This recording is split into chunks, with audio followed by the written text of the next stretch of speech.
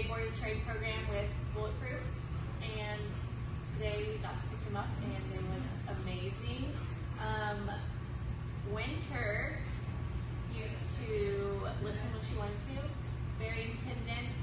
Uh, did not come when she was told, did not know how to walk on a leash, sat when she wanted to, and now all of a sudden she's able to walk on a leash with us, walk without a leash, um, sit when she's told, come when she's called.